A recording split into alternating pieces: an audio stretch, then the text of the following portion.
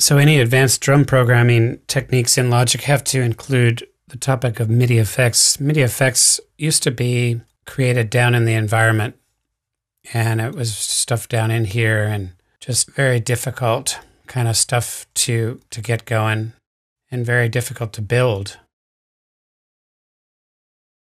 See if I can show you the right there MIDI transformers. So see how this stuff, quantized note length and all this kind of stuff are now reskinned as instruments. Okay, so I have one drummer track. This this track is nothing. I'm going to delete it.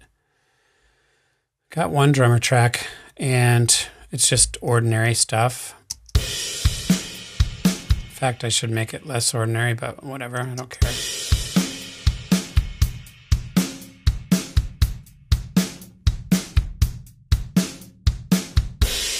Ho hum, right? Southern California boring crap. Let's add some MIDI effects to this. I have to do this by saying hide this, hide this. And on every channel strip is a MIDI area. Okay, so if I were to create a new one, that's probably why I had that other one in there. A new one, this is the MIDI effects area, and you'll see it on every single channel strip. And you have these choices you can read for yourself. Some of them are worthless for what we're trying to do here, this one being one of them. Some are relatively interesting. So let's have a listen. I just have them on in bypass mode so we can hear him.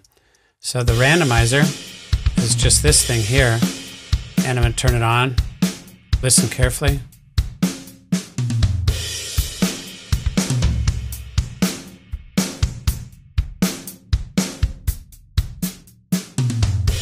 It's randomizing how hard the hits of the stick of drummer are, which is cool.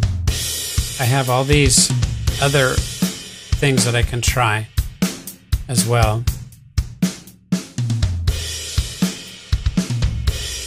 Some of them do interesting things.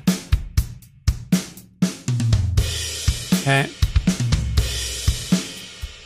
This has to do with which note's going to be affected and how much.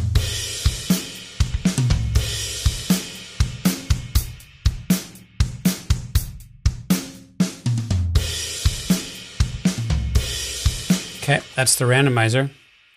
Note repeater is kind of interesting as well. I have the ability to, you know, pull down some settings here. And I've got one sort of built here, but I'll just turn it on.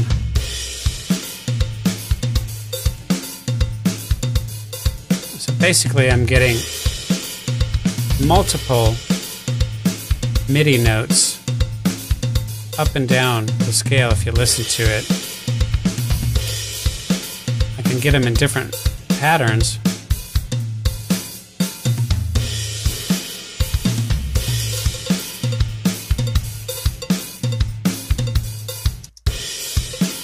Sometimes the triplet doesn't work as good. This dotted. Eighth dotted is the nicest one here.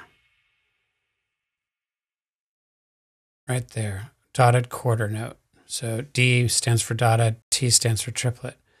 And I can widen how much it grabs in terms of the MIDI note ranges of the drummer. And I can narrow it.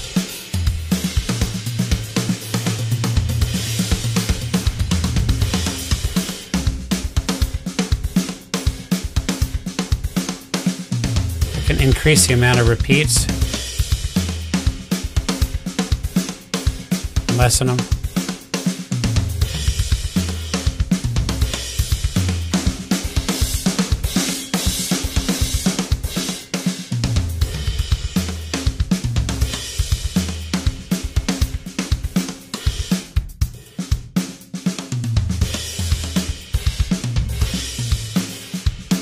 doesn't take too long to realize that that could be mapped to a knob and and uh, become an interesting performance. Transposer, same thing. This just moves the MIDI note patterns up.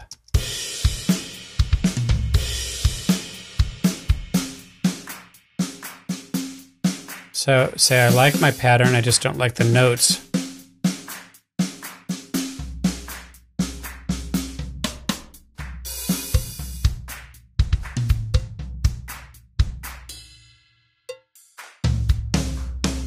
Narrow the range there.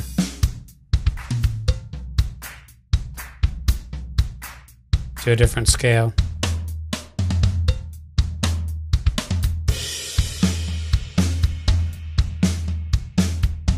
And you could see where you might have a long drum track and bypass this transposer in and out. Could be cool. Lastly, and there are other ones in here to play around, but these are the ones that make the most effect is the velocity.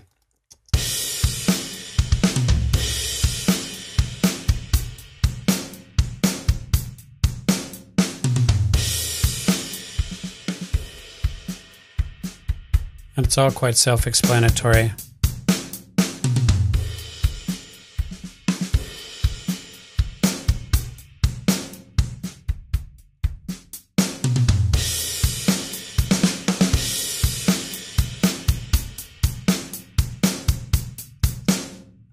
so all of these are MIDI note effects, and they're found in the channel strip settings right in this area here.